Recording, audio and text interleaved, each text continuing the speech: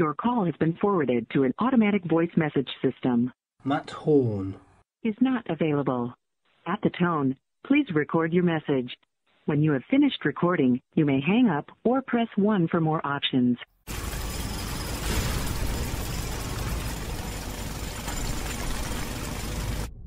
Angie, I remember now. The winner of the year was Hesperia Gales. No idle talk. You'll crash, Dingo. In the final 30 seconds, Henry G trashed out from field out. Man, we had a great time that night. 20 to touchdown. Can't wait for the new season.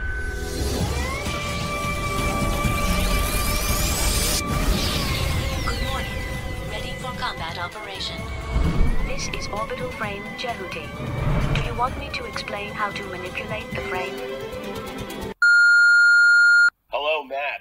Barto from San Francisco, uh, trying to get a hold of you. I wanted to let you know that uh, Zone of the Enders, the second runner, a game I did about 4,000 years ago, is being re released, and I'm desperate for some press. So I'm thinking uh, maybe you're the right guy to talk to. Give me a call when you can. On the line, we have Peter Barto talking to us from where are you talking to us from, Peter? I am currently in San Francisco, the beautiful city of San Francisco. I have never been. Is it any good? It's a gorgeous place, uh, a lot of good food, great things to see. Uh, it's got its own set of problems right now, but uh, you can see past those, I'm sure. Now, Peter, you can correct me if I'm wrong, because I might be wrong actually. Obviously, nowadays, you know, Los Angeles, Toronto, you know, Montreal, they're known as sort of the video game parts of the world, maybe. Right. Didn't San Francisco used to be the same thing in the 90s? You know, and, and even now, I mean, there's still a fairly vibrant gaming opportunities here for voice actors. Not as much as Los Angeles and from what I've heard, Toronto especially. But San Francisco's, especially with uh, some of the independent gaming companies, when, when I first started doing this in the uh, late 90s, in the 20th century, I would basically, to get my name out there, I'd, I'd basically look at some of these independent gaming companies, these developers that were probably working in their garage on old computer systems trying to, you know, get these things up and running. And I would try to just get work. I had a demo and I'd send it to them and and uh, over 50 emails, maybe I'd get two responses, which was great. But the one thing, the holy grail at the time was uh, LucasArts. George Lucas's gaming company was here uh, in the Bay Area, and so I think me and any other kind of voice actor that was trying to get to the big time, that was the grail. So I never got anything from Lucas. I ended up doing some work for Telltale Studios, which came out of Lucas, but that's a whole different story. But there is opportunity here. Um, I think, like you said, I think Los Angeles really is the hot. If you want to get work for gaming, I think you got to be in LA, or just be really dialed in to uh, to be able to you know do it virtually from there. Peter, Yes, sir. Unfortunately, I never get breaking news on these podcasts. So you are finding this out literally at the same time I am. Burt Reynolds, star of Smokey and the Bandit, Deliverance, and The Longest Yard, has died at the age of 82. Oh, Burt Reynolds. Yep.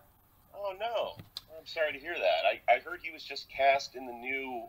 Oh God, it was a um, what's his bucket? uh, new movie that was coming out about uh, about Charles Manson. Believe it or not. Um, I wonder if you made it to. Well, I'm so, I'm sorry to hear that. I always liked him uh, in those old movies. So there you go, Peter. You've got some sort of accolade on this podcast. Right off TMZ. Where do you go from Burt Reynolds' death? What do we do here? Yeah. I'll let you direct. Right, we'll, we'll go back to what we were talking about. Yeah, as you were saying, obviously the the olden gaming companies, obviously, as you mentioned, LucasArts and Telltale Games, were obviously big, big hits in the 90s. By this point, Konami had made Metal Gear Solid, which had been obviously a huge hit, and then they made Zone of the Enders, which was the first one. And then in 2003, Peter, in 2003, 15 years ago, they made Zone of the Enders the second runner. Yes, they did. And somehow, lo and behold, Peter, it's been re released on the PlayStation 4, I believe within the next month, if not next week. Yeah, yeah, yeah. It's exciting stuff. I uh, hadn't heard anything about that game in you know a little bit less than 15 years, but uh, it's it's nice to see it's getting its second go around. and then uh, hopefully I'll get more hate mail, or hopefully I will not get more hate mail. We had some interesting, which I can tell you about, some interesting uh, reaction to the um, to the project as, as voice actors and how the whole thing went down. Uh, it was kind of interesting. But if you'd like, I can tell you about the evolution of the of how we got involved with that game. Tell us everything, Peter. That's why you're here. You got it. so um, I got into the voice acting in the late '90s, uh, early 2000s, and there was another Japanese game developer, Koei Games, that had connected with uh, some little San Francisco operation that was doing the English uh, localization for them. And I had connected with this guy that was running that, and uh, they were doing a series called The Dynasty Warriors, uh, which was just these games that were pretty bizarre. Anyway, I was able to land a bunch of voice acting on those. Those again were not the best received because you know I think I did a fairly good job, but then they were getting people just off the street to uh, fill in voices, and so it was amateurist at best. But uh, but through that, I met a woman named uh, Janice Lee. Janice was casting for various games, uh, voice talent for various games at the time, and she contacted me about Zone of the Enders, uh, the second runner. And sometime I think it was in 2002, I came in to audition for various roles. I think we were reading for different stuff, and uh, I ended up getting the the vaunted role of the well-named Dingo Egret who uh, is the main character uh, in that movie. I wasn't familiar with the, you know, with, with Zone of the Enders. I wasn't familiar with uh, Kojima or Metal Gear really, but uh, yeah, so I got the gig, and we ended up uh, recording in a uh, studio called Annex Digital, which is south of south of here, down in Silicon Valley, and we were guided and directed by a team that came over from Konami from Japan. And one of the things that me and the the other actors were having a little bit of a problem with, and we tried to do what we can, uh, was they were adamant that we use the exact uh, English translation that they had for both the uh, lip syncing, you know, for the various cinematics as well as for the you know the off screen stuff. Some of it was very awkward. It was like you ran it through a bad Google Translate. It was again awkward at best, sometimes completely nonsensical but they wanted to really stick to the script no matter what was there. And you know, the, the lip syncing part was, was fun and very challenging, but again, due to the translation issues and trying to make the, the dialogue stick to the to the animated lips, we were all over the board at times, and it was a, a little frustrating. I'm not a gamer, but looking at reviews afterwards, they were just trashing the voice acting, and it was frustrating you know, I know me and, and the other actors would say, hey, we were stuck. We had to read what was there. But, you know, I also did get some fan mail, which my daughters thought was hysterical. We had sessions for weeks. It was a lot of copy. It was a it was a fun project. I thought it came out well, uh, all things considered. Mm-hmm. Well, I've obviously got a fast track 15 years forward to now. Okay. I've got to tell the listener what is going on with this, basically. uh, now, I unfortunately am a gamer, Peter. So obviously, I looked on the PlayStation system, and you can actually download a demo of this. And I thought, really, they're re-releasing it after 15 years? And uh, yeah, so I did. And this is where sort of it goes a bit weird for sort of our time, I suppose, Peter. Uh, is that they're including this VR in it? Yeah, that's going to be quite interesting. People can uh, get airsick while listening to my voice in their head. I'm assuming if they'd had that technology 15 years ago, sort of like your VRs, your motion capture, would it have helped? Maybe I don't know. Well, as far as the production of this particular game, I think when you use VR, personally, that you'd probably cut out a lot of the whole cinematics thing, the cutscenes um, that I know a lot of games use to move the narrative forward, because all of a sudden you're not linear anymore. You're what you're spatial. You know, it's all over the board. I'm going to suggest something, Peter. Yes, sir. Do you think that some certain publisher is thinking, hmm, if we get this back into the um, public eye again, we might make a third one, maybe. I don't know. In fact, my friend Janice, who had cast this before, she had told me that way back when that they were thinking about making uh, another one at the time. You know, probably what the mid 2000s. But I guess uh, they didn't get the sales. The game itself was, I guess, reviewed positively for the most part, except for, like I said, some of the voice acting but uh, for whatever reason it didn't sell. Maybe it was a game before its time.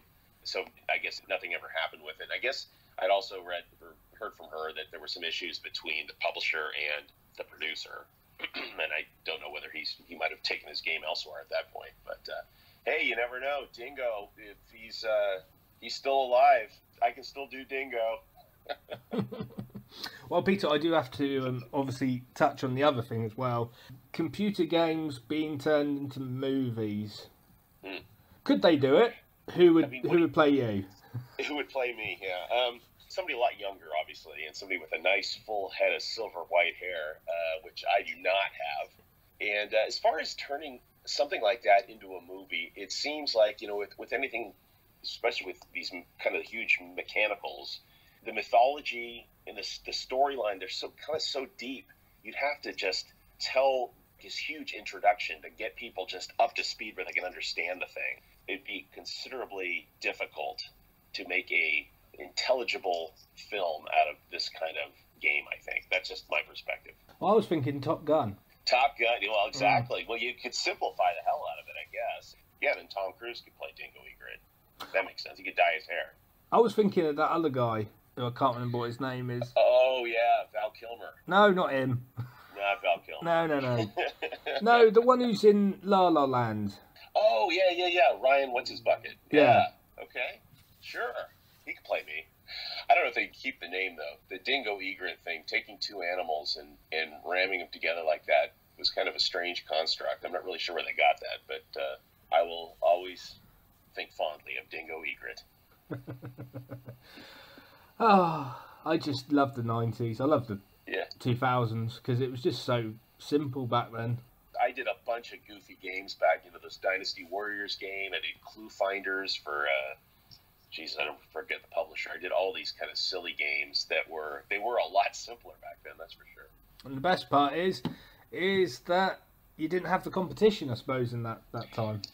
Exactly. It's it's tough. You know, I I don't uh, I don't get as much game work now. Um, you know, I've done a few over the last few years, but it's uh, it's tough. The ease of recording from home or a virtual or a recording studio, you know, from, thousands of miles away, is uh, is has really kind of diluted the talent. So, you know, there's there's a lot of actors out there that are better than I am, and, and all they have to do is get in front of me with the auditions, and they they get them. So um, so it is a little more difficult. I uh, produced a game for an Australian developer in the late '90s, early 2000s called Submarine Titans, and that was just horrific because uh, sending files back then wasn't easy uh, to Australia from here. It wasn't just zipping up things. But the, the actual production was, was really fun, simple, campy to the most part. You know, it is what it is. Mm-mm. I mean, the thing is, obviously, if we're going to go back to the 90s, 2000s, I mean, obviously, you, you mentioned about sending files to Australia. Obviously, you got dial up, haven't you? You haven't got broadband and. Yeah, no, we were we were in fact, memory serves, we were like burning, uh, we were FedExing things, audio files that we'd have to burn to disk and things like that. There was a lot of steps involved back then. Let's talk a bit about you, Peter. What made you want to be a voice over artist in the first place?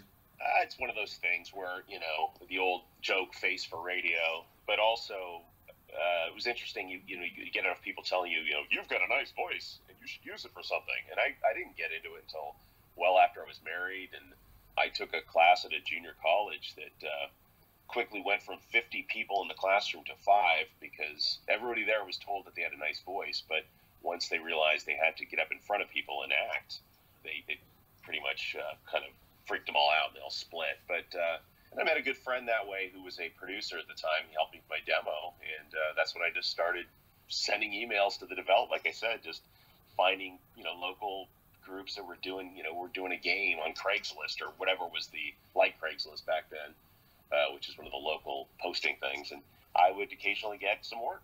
And it kind of took off from there and got an agent, uh, Stars Agency here in the city, which have been great. And for the games, like you said, there's a lot. There's a lot of opportunity out there. It's um, finding uh, a way in which to get to the top of the heap.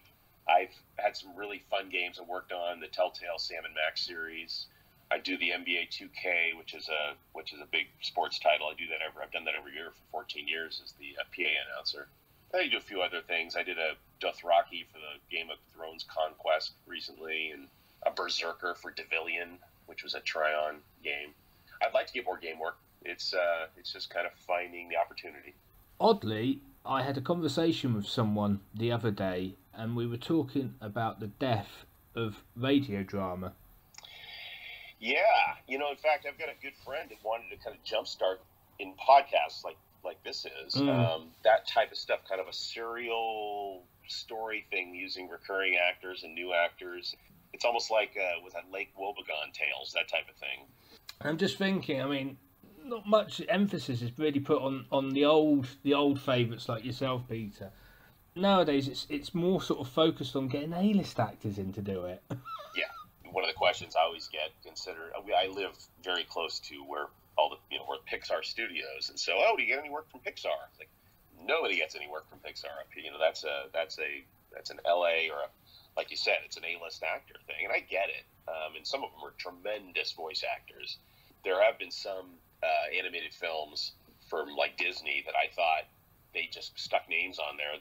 The the actor themselves didn't bring anything to the part, but that could be sour grapes talking. I don't know, but yeah, that's a that's an uphill battle. I mean, that's that's never going to get over that one unless I become an A-list actor.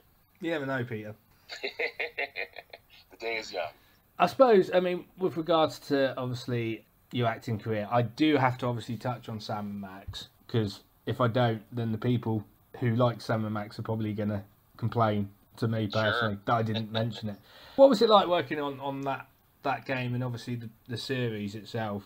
Oh, that was a ball. That was that was uh, that was one of the most fun projects I've ever been involved with. Number one, the recording studio that they did them all uh, was right down the street from my house, so that made things really easy. Telltale was a bunch of ex, the most part, a bunch of ex LucasArts guys who had a lot of experience in in doing games.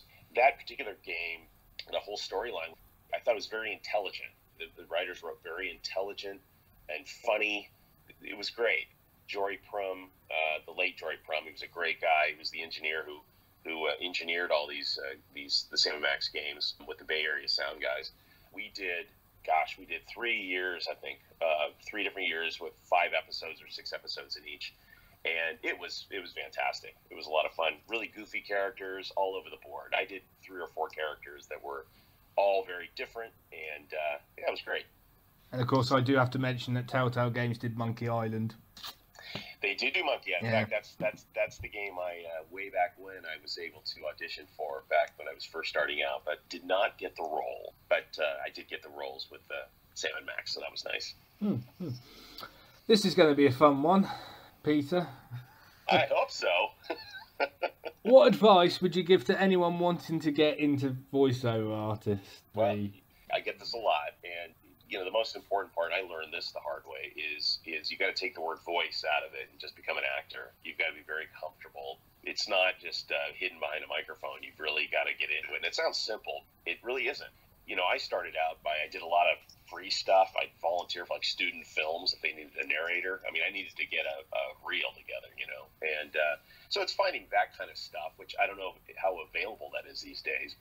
There's a lot of classes. There's a lot of you know comedy, just basically uh, getting out there and doing comedy and stuff like that. Being very comfortable, making yourself look like an idiot. Um, is kind of the basically way it works for me. I had no qualms about people looking at me going, "Why is that guy talking in a high pitched voice, shrieking?" You know, but that's what the role called for. So, so I think it's that. It's acting classes and getting very comfortable doing acting, and then the voice stuff will come with it. Hmm. Now, obviously, you would have had to have gone to conventions because of the projects you've done. I have never been to a convention. Wow, would you? You know, even though I mentioned I'm not a gamer, I'm I'm definitely a nerd in a lot of ways. I love uh, um, you know animation, sci-fi, um, all that kind of stuff, and I always thought it'd be kind of a fun. Uh, that whole culture would be a lot of fun to to you know investigate, be a part of. Uh, but I, yeah, I've never been, never had the opportunity. Someone got me into cosplay. I'm just thinking if anyone's ever done a dingo, a dingo cosplay. That would be very interesting to see, especially just the hair. You know, very pale gray skin or bluish skin or whatever he's got, and then uh, and then this this this great shock of white hair. That's that's the beautiful thing. Well, talking about spare time, Peter, because I kind of did have a look at your website. People always say, oh, they're actors, you know, they, they just act and then they don't do anything afterwards. I'm like, what the hell are you talking about? you do quite a lot. I do. I keep myself busy. I do a lot of different things. In fact, for voice stuff, I'm actually getting into doing some casting now too with a digital media company here in the Bay Area, which is kind of fun. If the role's not right for me, I then try to find the right person for it. I'm just going to poke you, Peter. yeah, poke you with my stick. The reason why I'm, I'm, I'm sort of following this up is because it's sort of more charity work, I suppose, would be the term. I'm a huge wildlife buff. I'm a field researcher for. Here you go. Here's obscure. I do field research for a local group uh, that's studying our Bay Area Northern American river otter population. So there you go. Through that, I've learned how to set up uh, what they call uh, it's trail cameras. It's basically doing camera trapping. You're trying to find out populations of, of animals in certain areas and genetic testing and things like that. And through that, my family does a lot of work for a uh, Kenya based girls' school called the Daraja Academy. And I started at the Daraja Wildlife Project, which was teaching the girls over there how to set up camera traps to learn more about the animals in just that they're in East Africa, they're on their campus, uh, as a way in which they can a learn about the animals, the wildlife there, but also as a potential career path for them. And I also uh, co-founded a group called Jeepney Projects Worldwide. We support uh, both endangered birds and the conservation groups all over the world that are doing work to save these endangered birds. So there you go. Mm, mm. Well, Peter, people have said to me that we, we sort of sort of set up the interview, so you know what questions I'm going to ask. I don't know what questions you're No. going to ask. Now, now to prove it's not true, because I'm going to ask Peter this question. I apologise, Peter, but I've okay. done this for ten years now, and I've never asked this question to somebody who's a who's a um, field researcher. okay. What is the otter population of San Francisco like? That's a damn good question. And for San Francisco alone, it's pretty much less than five in the city of San Francisco. But if you get into the San Francisco Bay Area in general, we're talking, we're, we're getting some good numbers. Not to get too far off topic, but this is basically an animal that was native to our area back in the early 20th century, extirpated due to bad water and hunting, came back on its own volition in the early 21st century, and now we've got a fairly, very sustainable population. But in the Bay Area in general, you know, we're, we're pushing close to, I would say, 75 plus otters. And these are river otters, by the way. So there you go. Well, I was thinking it was going to be thousands. No, not yet. No, no. But uh, we're, we're, we're heading the right direction. Good, healthy population. We don't know. Part of it's it's because the way these animals are built, you can't put collars on them. They have no neck, and so uh, we do all our. Uh, you're gonna love this. We collect otter scat, which is their poop, and a jelly they excrete, and get DNA from there to figure out the markers in which to make a, a, an individual uh, otter, and then we can figure out whether hey, this otter was seen on this day here, and then you know maybe miles away two weeks later. That's the only way we can really check their distribution. Is this more than you asked than you wanted to know? No, I'm just thinking you've turned into Jeff Goldblum or something, you know. I could blather on about river otters all day. Have you named them? We'll, we'll get into that at some point. We're going to have people so they can support. You know, they can name one if they do a donation to our uh, to our group, the River Otter Ecology Project. So name the otter. Mm, I mean, can you like watch it? Are you guys thinking of like doing videos and live cameras or something? I don't know. you can go to riverotterecology.org and you can see a whole bunch of otter videos. And uh, yeah, they're, they're great animals. They're, they're basically indicator species. They basically show that if they're there, the water's clean, and that's a good thing. Oh damn! Oh, which makes sense. Here's a question for you. I mean, obviously, voice acting. You know, that's obviously important to you. How important is ecology to you? It's it's the most important. If I have any kind of a legacy to leave this world, which sounds kind of silly maybe, but it would be to uh, have benefited through conservation efforts or whatever, or you know, teaching these these Kenyan girls how to basically become researchers themselves. Mm. I mean, it's obviously not helping with certain presidents in the way. I have no idea what you're speaking of. No. By the way, the Sam and Max series, I think, were very prescient because they had a lot of Trump-like characters in there.